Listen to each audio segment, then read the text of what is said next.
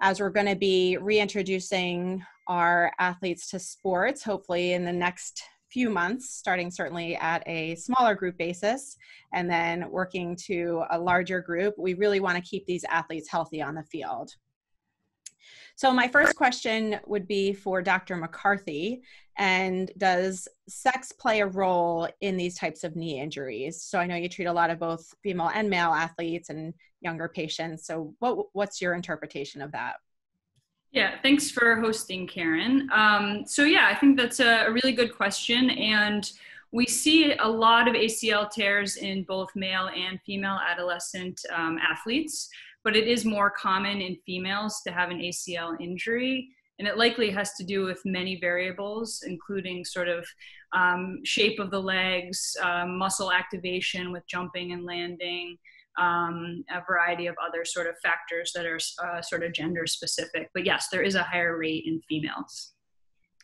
And Sam, I know you treat athletes from, you know, kind of the youth athlete level all the way up to the professional level, um, including male and female athletes. Are there certain patterns that you see in your female athletes that are different than your male athletes? Uh, patterns, w- what kind of patterns? In terms of when they experience their knee injuries, or when, you know, do you see the male athletes with more contact injuries or female athletes? With- yeah, no, I mean, so it's a, it's a really good you know, a, so that's a really good question. The the majority of when we talk about ACL injury, the the majority of injuries that we see um, are really non-contact injuries, and and oftentimes people think, oh, I tore, you know, somebody tore their ACL. It was a big contact injury where they're getting tackled or struck by another player.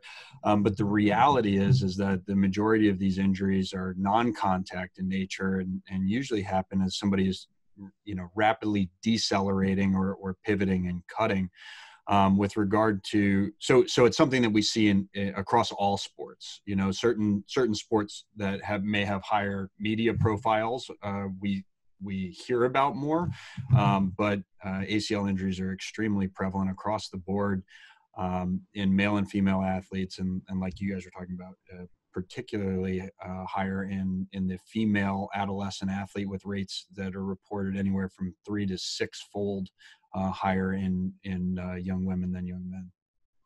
So, on this topic, we have a lot of athletic directors who are listening, um, team trainers that are working with some of our local high schools. If you're trying to focus on different sports, what sports would you say would be more at risk for these ACL injuries? Dr. Taylor, Sam, would you like to start? Um, I, I, mean, I, I, think again, uh, pretty you know pretty much all sports across the board have some degree of vulnerability to this injury. That and any of the sports that require you know jumping, cutting, pivoting type activities. Uh, since the majority of these injuries are non-contact, and I think that you know there are there are a number of things that coaches and strength trainers um, uh, can work on with their players uh, to help uh, work on what we call neuromuscular control or uh, improving the uh, strength and uh, dynamics, uh, landing dynamics, particularly, meaning um, the control of the lower extremity um, during these motions in order to try and limit uh, ACL injury. Moira, in terms of if you were to talk to some of these athletes about cross training or other things they could do kind of outside of playing their sport, um, you know, especially during this time when we're in this pandemic where athletes are staying at home, are there any things you think that they could add to their routine other than sport specific exercises? Yeah, I think that's a really good point, especially now when people are sort of deconditioned a little bit. They're not used to their normal sort of training. Um, I think there's a lot of good programs out there on ACL prevention, and they focus on lower extremity strengthening and the way you move. So part of it is strength, and part of it is kind of the way you do certain movements. If you look at certain people when they do sort of um, single leg activities, there's a lot of potential instability or areas where they could um, put themselves at risk, especially for sort of a jumping, landing kind of um, activity. And so I think anything to strengthen those muscles, to help the endurance, and also to improve quality of movement is good. Uh, Moira, would you, you could you kind of for the people that are watching uh, demonstrate a little bit of kind of proper landing mechanics uh, as well as those that are, that may be a little bit more pathologic? That's a Can you just jump off your desk more? Yeah, that's that's that's pretty much what I was getting. I just come on, Moira, let's Yeah. go. Show show everybody the right way and the wrong way Yeah. to do this. I can't I can't do that right now. I have limited space here, Sam, but um, you could show them in your nice big office over there. I think the key thing is if your if your knee goes into a valgus alignment or what we call like a knock knee alignment when you're doing single leg activities, then that's a that's a, an issue. Here he goes. landing. Exactly. Thank you. All Sam. right. Thank so um, I'm going to be getting a knee immobilizer ready for Sam any minute um, as he demonstrates the improper landing techniques. Um, so funny, one, if you try to demonstrate it in the office and you say, "Oh, you should do a perfect step down," uh, it's really, really, really hard to do. And parents who are in the room often try to do it as well, and they note that they have significant sort of abnormalities when they're doing it. So it's a hard activity. People don't really focus on it unless they're told to focus on it, but it's really important. Yeah, it is, and and uh, you know, kind of all joking aside, uh, to you know, to that point, it's is when when um, Moira was talking about, uh, you know, if you imagine your knee being here as you land, you want to be able to have control, uh, keeping that knee centered. And what what tends to happen when you have um, kind of poor neuromuscular control or coordination with it, as you land, the knee kind of comes into this little bit of knock knee position, which puts a ton of stress on the ACL. So a lot of the activities and and um, stretches and strengthening programs that are out there focus on improving that landing control, so that that you have better control as you land and you don't put your knee into some of those vulnerable type positions. Moira, when you were doing some of your training um, over in Europe, did you notice that they had any interesting tactics as they were doing their warm ups um, for soccer? Anything that you took from, um, you know, across the pond, if you will?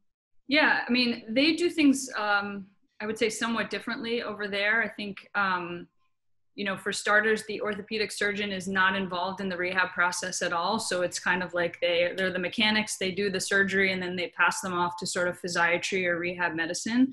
Um, so I can't really answer that specifically because I didn't see a lot of it working with the orthopedic surgeons. But um, I think most of the things are pretty similar in terms of how they rehab and, and recover.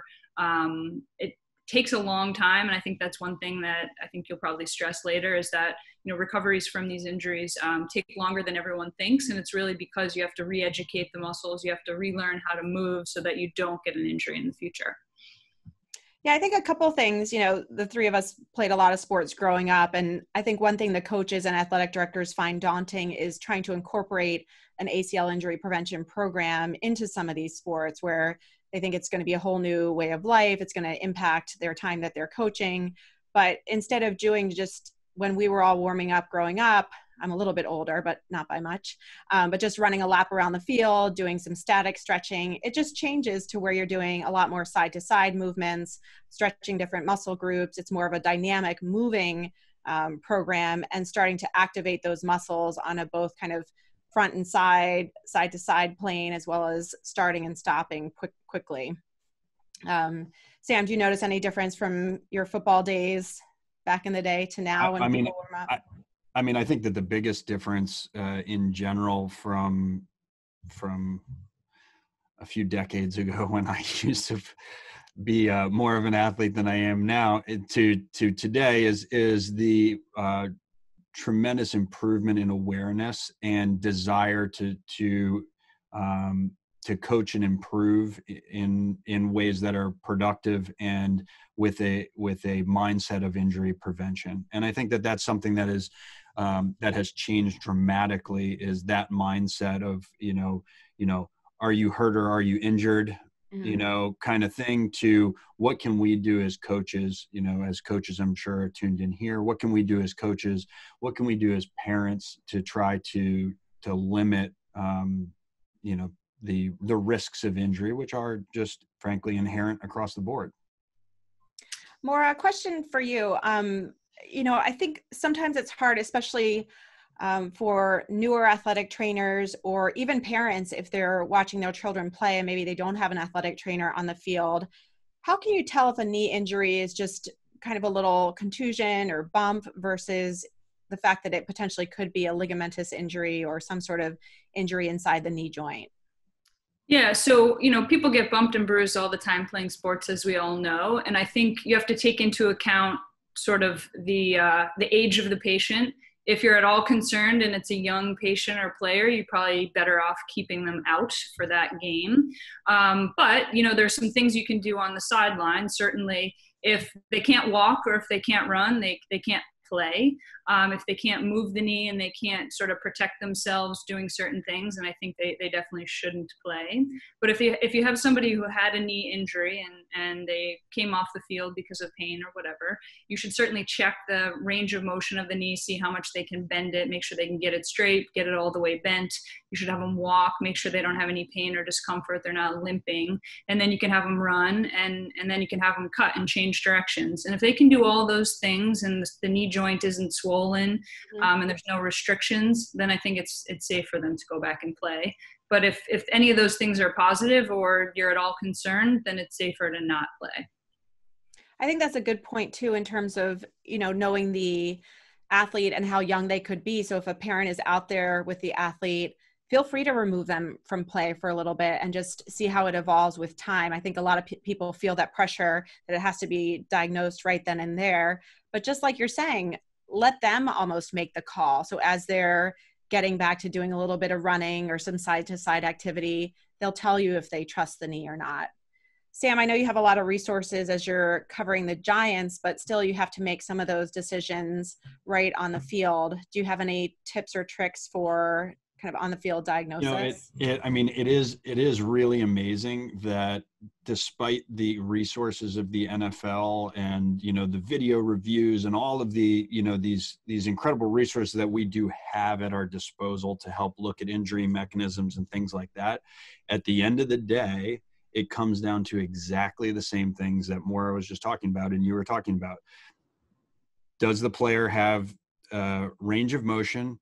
Strength and coordination to be able to um, first and foremost defend themselves and i don't mean against another person but defend yourself against injury meaning do you have the strength and coordination to, eh, and um, and range of motion to be able to take your body through the the various uh, motions and actions that you need to do? Um, and if you do then you can play. And if you don't, you shouldn't play. And so, you know, despite all of the resources, when it really kind of comes down to it in, in the bitter end, it's pretty it's it's pretty straightforward. Whether you're talking about a, a kid in uh, middle school uh, or a professional athlete, can can you protect yourself, and are you putting yourself at risk? And if the answer, uh, you know, is is no, then you shouldn't be out there.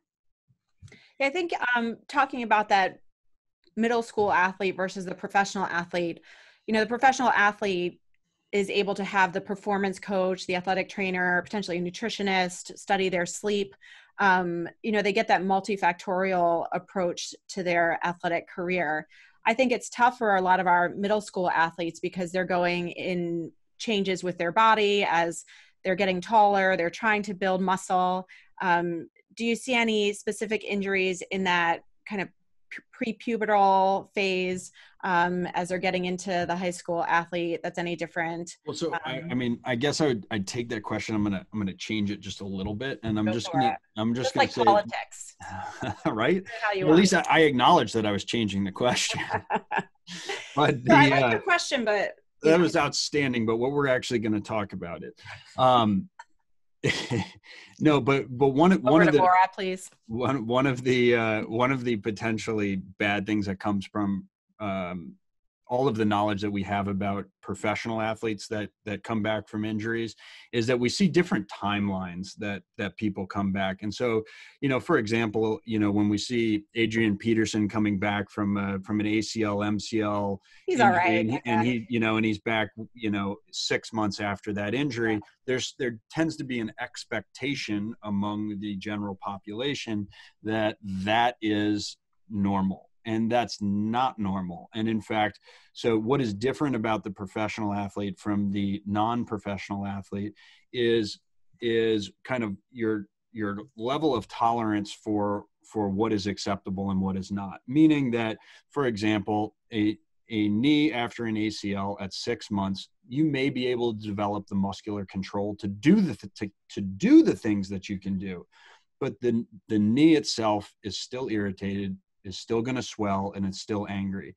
And at a professional athlete or for a professional athlete there are certain you know certain other considerations uh, with regard to timing that may push that athlete uh, you know maybe a little bit sooner than you would expect uh, in the general population. And so i think that um, some of the expectations that are, are, assumed based upon what we see for the professional athlete aren't exactly ex- extendable to to the rest of the world yeah, and I think going into that Moira so there's always that challenge between, um, you know, if we're talking about rehabbing an injury or even rehabbing your ACL, where physical therapy finishes and then the athlete has to get back onto the field.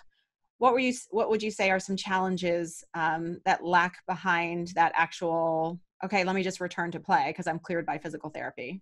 Yeah, I, I think it's really hard because part of the thing that athletes need to get back before they go out there is they've got to have you know they got to have full motion they got to have full strength they got to have good stability to their knee joint but they also have to have confidence. And it's really hard to get confidence back if you haven't sort of practiced the thing that you're going to try to do. So, um, you know, with insurance companies and stuff, it's really hard to continue PT for a year. And sometimes you need something to bridge the gap. And, and one of the things that I've found is that there's performance trainers out there. We have some at HSS who are actually really good at helping to bridge the gap between physical therapy and uh, you know, playing a sport or even personal trainers and things like that. So I think if you have access to those, it's really, really, really helpful. And the other thing is kind of just getting out on the field or whatever whatever sport it is you play and just doing things by yourself. If it's soccer, getting your footwork back, doing some agility drills, um, and then you know I always tell people to be careful of their shoe wear, especially when they're starting out. I don't know if you guys do the same, but certainly, you know, starting with things like sneakers and moving to turf shoes before you go to cleats and things like that and uh, particular surfaces. But really just trying things out and then doing some things with another person and then, you know, doing some sort of drills and then ultimately kind of scrimmages and games sort of in that continuum rather than six months happens or nine months happen, you just jump out and play in a game. You know, it's, it's interesting you, that you talk about the psychological aspect of return to play and it is it is something that we uh, i think generally do a poor job of addressing and we can certainly do a better job with addressing. When you look at for example um, acl and return to play the numbers of, of people who return to actual play at the same level um, is lower than we would like to think but the interesting thing is, it's not necessarily because of a mechanical problem. It's not because of a re-tear of a graft. It's not because of this. A, a huge com- portion of, of people who do not get back to doing their activity report that it's because they're scared of re-injury and and so that the psychological component of return to play after a after a devastating injury is is not to be under um, under recognized. Yeah, that's a, actually a really good plug for one of the things that we have, which is a, a sports psychologist who um, I send a fair number of people to to try to help with some of this stuff. Her name's Deb Roche, and she's she's great. Um, I know Karen, you probably send a few people to her too. Yeah, Dr. Roche, she's um, actually doing some of these 30 minute Thursdays with us too. So feel free to tune in to those as well. Um, so one question came up. Um, we do see athletes try to use knee braces to prevent knee injuries. Um, Sam, if you want to start with that in terms of, hey, you know, I have four kids. I want them to play pivoting, cutting sports. Maybe I'll just put braces on their bodies and hopefully yeah, they won't. I've got four kids at home and they all look like Forrest Gump right now. We got braces all over the place. No, the the, the the reality is that that um, uh, with regard to braces and injury prevention, the data to suggest that wearing braces to prevent injury is uh, limited at best and um, particularly uh, limited to specific types of injury like injuries to the MCL, the medial collateral ligament on the inside of the knee. But I'm not aware of any studies that exist that show that wearing a brace is going to prevent an ACL PCL or lateral sided injury. So I think I think braces do one thing though. Sometimes they help with that confidence piece in certain people, and so oftentimes people will start to will want to start wearing a brace when they first return to play, just because it provides them something extra, um, and then they often choose to stop wearing it after time. So I think you're right. They don't prevent everything, but they can be helpful. One question that comes up a lot too is the combination of ACL injuries and meniscus tears. Um, I remember in fellowship when I was training, um, you know, we we weren't very hesitant to take out part of the meniscus or you know if it looked like there was just a fragment that was flapping in the breeze we were definitely focused on reconstructing that acl but now i feel like especially between the three of us we'll spend a lot of time seeing if we can keep that meniscus t- meniscus intact so the question would be twofold one is there any way to tell if the athlete did sustain a meniscus tear? And two, what are your thoughts in terms of aggressively trying to keep the meniscus if it is torn? Sam, if you want to start. Sure. Um, so I, I, think that, you know, things that are different today than than they were when I was in high school is that we have uh, advanced imaging like MRI, uh, which is uh, which is much more developed now than it was uh, a couple years ago, a while ago. Um, and and MRI is very good. It's not perfect, um, and MRI sometimes uh, will show something to be normal, and when you actually look at it, it is definitely not normal. And sometimes it'll look on an MRI like something is torn, and you get in there and it's not. So MRI is not perfect, but it has definitely imp- improved our ability to um, identify problems before we're in there, uh, so that um, there there may be less surprises uh, for the patient. I mean, it, at the end of the day, from a surgical standpoint, for us, we're going to look at it and address what needs to be addressed at the time of surgery. But I think that imaging, in particular, is very helpful for setting expectations uh, with patients.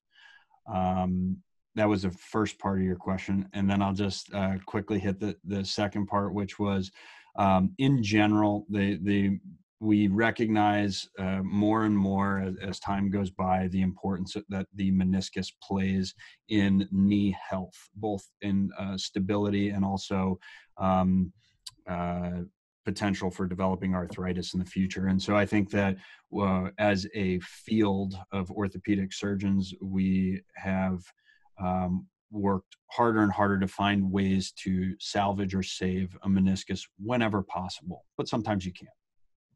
Yeah. So mo- I think that's really important. You know, we are focused on it a bit more. Moira, is there any way to tell if the athlete sustained a meniscus tear if you're evaluating them?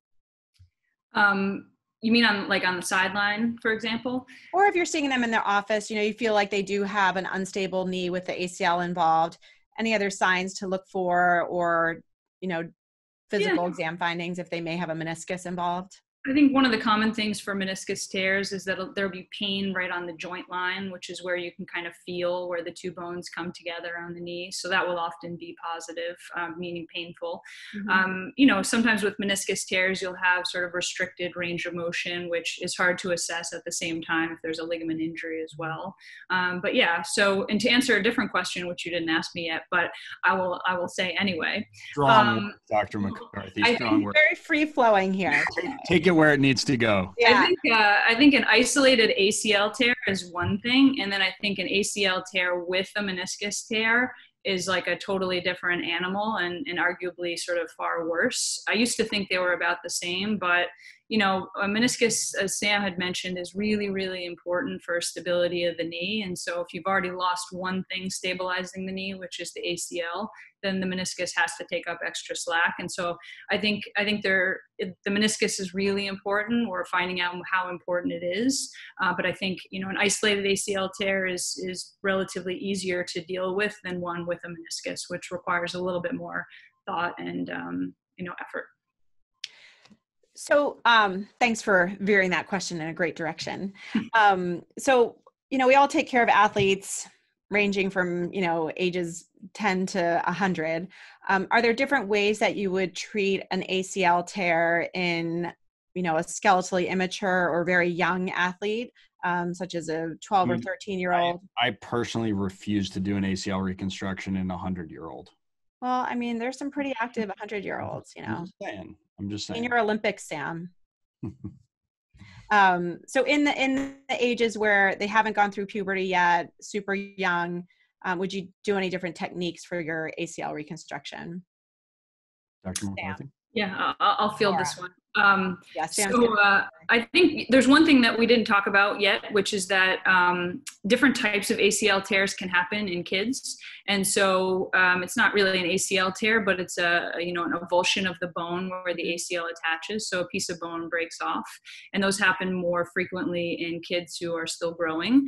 Um, so that's one sort of different type of ACL injury that's treated sort of with a primary repair. Um, it's probably the only primary repair of the ligament in a kid the inside the knee that you you know you would do.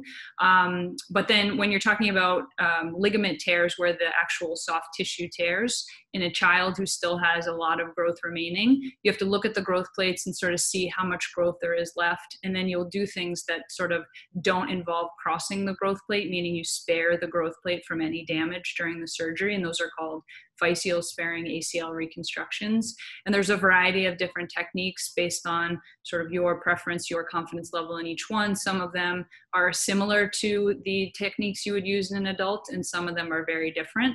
Um, and there's good data on sort of all of those. So I think definitely evaluating the growth plate in somebody who still has some years left to grow is really important. Sam, one of, the, one of the hot topics out there today is is ACL repair, or can we actually repair an ACL uh, rather than reconstruct an ACL? Um, so I'll take moderator privilege here and uh, and ask Dr. Sutton and Dr. McCarthy, what do you think about uh, primary repair of the ACL? Yeah, I think you know it, it's definitely a great question and comes up a lot just for our audience a repair would be just suturing the two ends together so somehow bringing the tissue that you already have and reattaching it wherever it's supposed to be. And then a reconstruction would be somehow using a graft or some other tissue from another part of the body to weave in and make a new ACL. So that's the terminology between repair and reconstruction. I think we're still finding out data about repair. So I think, you know, we're still waiting on that longer term follow up since it's a newer um, procedure and we have some newer techniques out there. I think in youth athletes, where you know a lot of our 30 minute Thursdays are directed to our younger athletes, I think a reconstruction tends to be the better, stronger gold standard right now um, for these athletes, especially if they want to get back to pivoting and cutting sports. Moira, any thoughts there? Yeah, I mean, I, I agree with you completely. I think um, the one important thing is that every injury is different. And so you always have to sort of take a look at the MRI and things like that. And you have to evaluate what this person or athlete is going to go back and do. I think that the primary repairs are in two categories. One is the one in the pediatric population where a piece of bone pulls off with the injury. Those I think are indicated. Um, but then there are other primary or there are other tear types that um, some people try to repair and i think you have to be really careful in, in doing that especially because as karen mentioned we don't have the data yet. But certainly there are some people that would qualify for it. So individual uh, treatment is really important. Um, uh, and you know you have to treat the athlete too not just not just the acl tear. So if they have no interest whatsoever in ever playing a cutting or pivoting sport and all they want to do is walk on the treadmill for exercise or whatever then you know they may not need to have their acl reconstructed. So everybody's different and um, you know you just got to treat them individually. Yeah, there's there's limited data out there right now but what the data that is is coming out um, is showing that it is re- primary repair is probably inappropriate for the adolescent uh, and younger athlete. Mm-hmm. yeah you're talking about of the ligament not of a, a yes yes yes. Yeah not of a bony avulsion yeah. Yeah so as we're getting to the close here, I'll ask kind of a directed, succinct question before you guys turn it against me. But what would you say is the average in terms of our, let's say, middle school and high school athlete return to play after a just strict ACL reconstruction? Nine months. I would say it's somewhere between nine and 12 months, but it's usually on the longer end and it's not about that knee recovery or the graft healing or whatever. That usually happens around six months, but it's managing their risk after that and kind of making sure that when you send them back out there, they don't have another injury uh, so soon. And I think the data shows that if you send them back under a year, there's a higher risk of re injury. Um, so for me, it's usually somewhere between nine and 12, but closer to 12. Yeah, I would say that. If you if you come to me, we'll get you back in three months. just... like name that tune. Yeah, repeatedly back in three months. yeah, it sounds like that nine to twelve months is kind yeah. of a sweet spot there. Agree. Um, I really appreciate both Dr. Taylor and Dr. McCarthy joining us today. You know, it's such a pleasure to be out in this community treating the athletes, you know, in the Connecticut and New York areas and you know certainly if you have any further questions with any of your athletes um, feel free to contact us over here. And then next week i would love for everyone to turn in tune in to our 30 minute thursdays where we'll be discussing throwing athletes preventing shoulder and elbow injuries. So again thank you for joining us today and great insight by both dr taylor and dr mccarthy. Thanks guys. Thanks guys. Have a good one. Take care